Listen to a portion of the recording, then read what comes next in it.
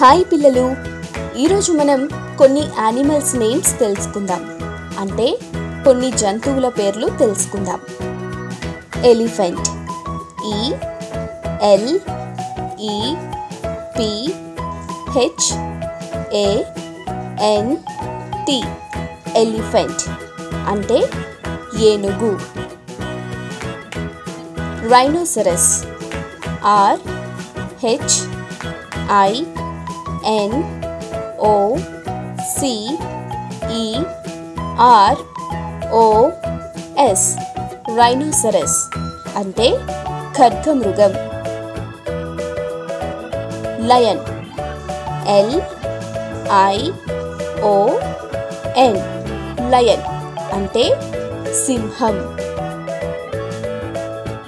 tiger T I G ఈ are tiger అంటే పులి